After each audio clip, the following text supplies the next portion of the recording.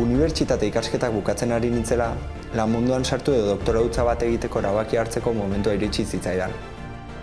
Eta ikerkuntza alde batera ustea erabaki nuen.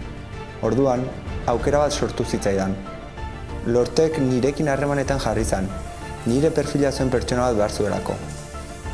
Honi esker, enuen ikerkuntza alde batera usteko beharrik izan. Lanean hasi nintzen eta horrek profesionalki garatzen jarraitzeko aukera eman dit. Lorteke mundu berri bat aurkitu ez. Industriarekin daukagun erlazio zuzenari esker, egunero agertzen dira erronka berriak eta horrek gure lana eskerronekoa izatea dakar.